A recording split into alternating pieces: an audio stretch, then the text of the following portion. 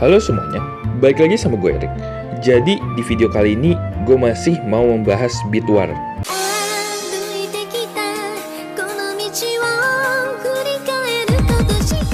Sebelum lanjut ke videonya, gue mau ngasih tahu kalau sekarang gue juga udah punya grup WA ya.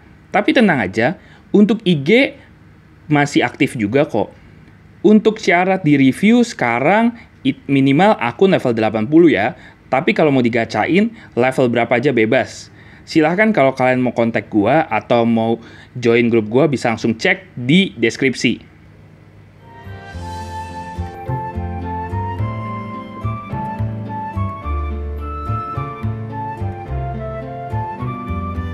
Ya, jadi seperti yang bisa kalian lihat di in-game kalian kalau sekarang yang Carnival kemarin tuh emang udah nggak ada emang bener-bener udah hari terakhir semoga kalian kemarin dengerin gue jadi kalian bisa dapetin yang kemarin lebih banyak lagi ya Oke, jadi yang pertama kita ngeliat di sini kita gacha gratisan dulu ya seperti biasa, nggak boleh dilewatkan. Dan nanti kita mau membahas tentang si Tornadus ini.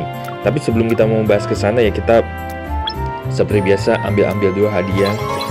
Oke, lumayan 100 diamond. Terus apalagi yang bisa diambil? Ini jangan lupa beli snowpack yang ter beli snowpack lagi. Masih ada waktu tiga hari lagi. Oke, ini dia. Terus kayaknya sih Fortune Kit juga udah nggak ada. Ini value cuma ada daily doang. Terus ya udah nggak ada apa-apa lagi ya. Jadi ini kita tekan-tekan S dulu sampai nanti kita itu mau buka-buka hadiah yang kemarin. Sekalian ngelihat gue dapat berapa dan isinya tuh apa yang kemarin yang gue suruh kumpulin itu. Oke ini kita ini kita masih lanjut. Bentar ya. Oke nice. Udah semua. Terus kalian jangan lupa ini yang Xmas Dungeon di harus manual ya. Nggak bisa secara otomatis. Oke. Terus yang ketiga nice udah dapet semua. Sekarang kita bukain hadiah yang kemarin ini bag. Oke. Kita buka ini rare. Terus ini epic. Terus legendary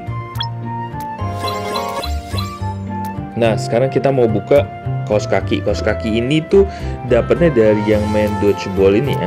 Nah ini dodgeball ini reward. Nah itu main dodgeball jadi kalian kalau misalnya nggak ada paling kalian juga udah buka-bukain selama ini. Cuma gue tipe orang yang suka ngumpulin jadi gue buka dulu. Oke ternyata pas buka kaos kaki itu ada buka snow juga ya. Jadi jangan terlalu lama disimpan kayak gue soalnya lumayan sih ini snownya kalau punya segini.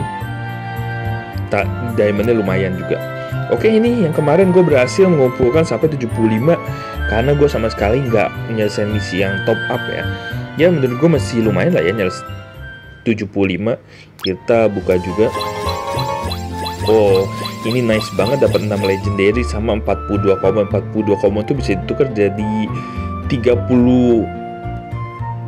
hmm, enggak nggak sampai 30 jadi 10-an berapa gitu ya 12 atau 13 atau 14 ya pokoknya sekitar segitu.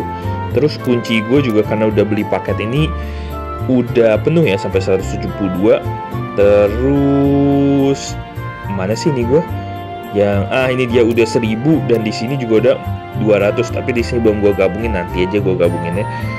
Ya terus yang terakhir kita mau gabungin ini apakah gue udah bisa dapat maksimal sampai level 10 oke udah maksimal gue oh belum ternyata. Emang yang terakhirnya banyak banget ya sampai 1250 oke jadi udah cukup ya semua yang dailynya. Sekarang kita mau membahas ke Tornadus ini kemarin beneran juga ada yang nanyain katanya dia pemain baru mau nanya Tornadus ini bagus atau enggak. Jawaban pertama gue Tornadus ini lumayan sebenarnya nggak bagus-bagus amat tapi juga nggak jelek-jelek amat. Kalau dibandingin kalau si Tundurus ini kan dia tipe attack. Sedangkan si Tornadus ini dia tipe support. Jadi le- lebih versatile si Tornadus ini karena dia di tim mana aja tuh lebih gampang gitu loh. Apalagi kan si Tornadus ini dia tipenya flying sedangkan si ini kan tipenya oh dia juga tipe flying juga ini cuma tipe flying ini kayak lebih gampang aja untuk dibikin. Tapi si Tundurus juga tipe flying juga sih. Ya ya udahlah ini racial value nya benar-benar sama. Langsung aja kita ngeliat ke skillnya. Gue langsung membahas mulai dari pasifnya dulu karena pasifnya ini benar-benar berkaitan dengan yang skill 1 skill 2 nya jadi skill 1 dia ngesamen Hurricane. Hurricane ini kalian lihat ada spe efeknya special effect ke ally terus each Hurricane meningkatkan 20% evasion rate. Ya jadi kalau misalnya kalian ngeliat kayak gini dia tuh ngasih mekanisme defense namanya Hurricane yang meningkatkan evasion gitu loh. Jadi makanya gue bilang dia lumayan berguna untuk tim juga.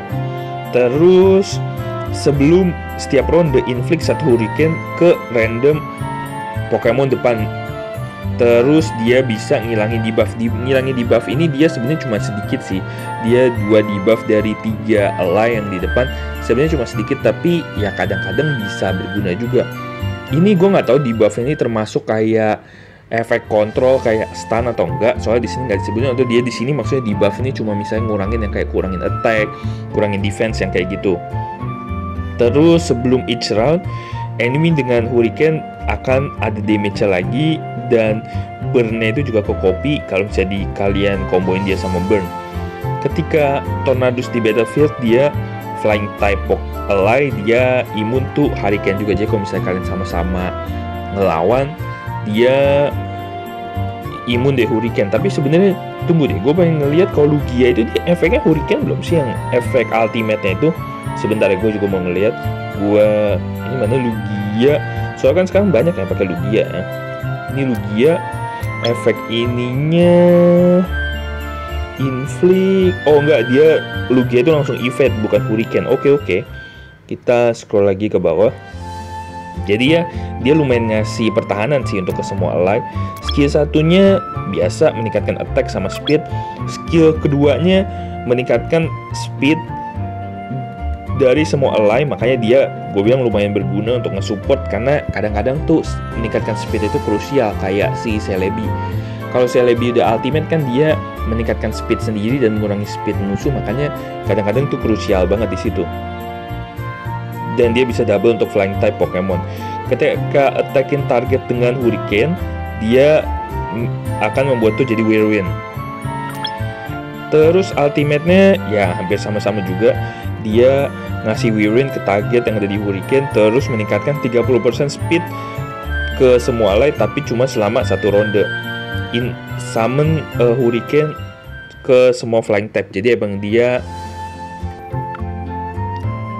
kombonya dengan yang flying type gitu ya.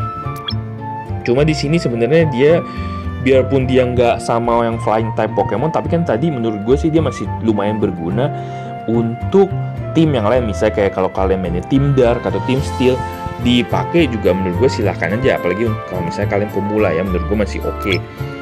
karena dia ngasih sesuatu gitu loh ke tim kalian gak gitu terbatas kayak si siapa yang Pokemon S Plus itu? Oh Victini. Victini itu kan dia benar-benar terbatas banget tapi sebenarnya si ini si Tornadus ini dia nggak terbatas cuma emang kalau misalnya ada flying type dia ada lebih bagus gitu loh jadi ya kesimpulan gue Tornadus ini menurut gue masih bagus untuk dipakai. Kalau misalnya kalian mau dapetin ya silahkan. Cara dapetinnya ya kalian ngikutin cuma sampai yang ini aja.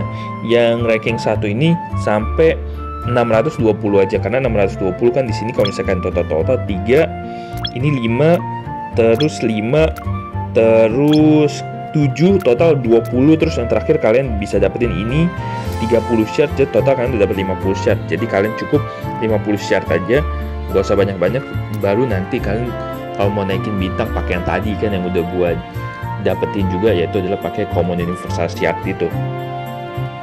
Jadi yang kemarin buat yang nanya atau yang pemain baru yang baru mulai main ya ini menurut gue lumayan bagus untuk didapetin dibanding kalian ngegaca asal-asalan yang ini yang ngegaca ini soalnya ngegaca ini ini benar-benar menurut gue Pokemonnya udah kurang banget ya semuanya mending kalian ngikut si Bituar ini dap dapetin satu langsung Pokemon yang bagus yang langsung bisa berguna untuk tim kalian gitu loh Oke lah kayaknya sekian aja untuk video kali ini Bagi kalian yang suka sama videonya, silahkan klik like dan subscribe. Terima kasih.